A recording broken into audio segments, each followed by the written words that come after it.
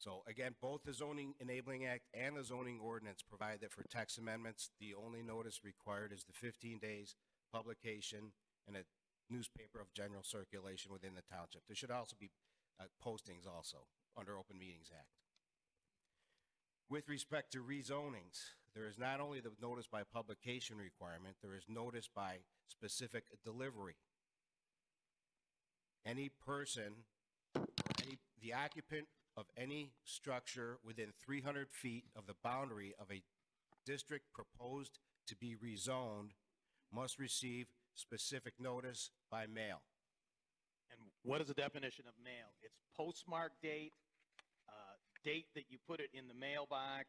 How, how do we, how do we administer that, Laura, today? And, and when you put out the notice, fifteen days, when's your clock start? Is it postmark?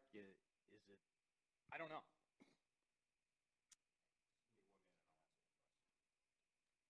Plus, if we don't know who lives there, it goes to occupant. Occupant, right, yeah.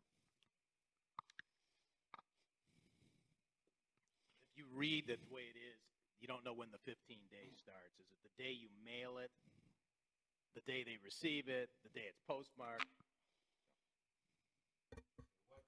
Zoning enabling act says is the notice by delivery is considered to be given when personally delivered or when deposited during normal business hours for delivery with the United States Postal Service or other public or private delivery service.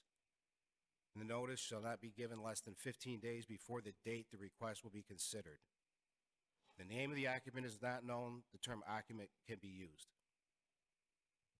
So you can, you drop it, as long as you drop it in the mailbox, the 15 days starts.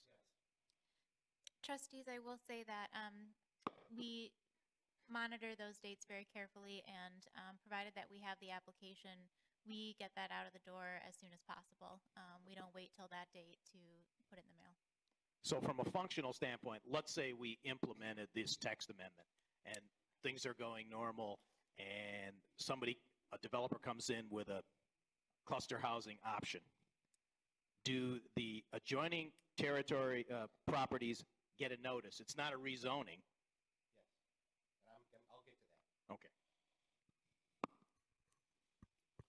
Okay, so the, the difference between a rezoning and a text amendment is rezoning requires the specific delivery notice as well as publication notice within 15 days of the public hearing.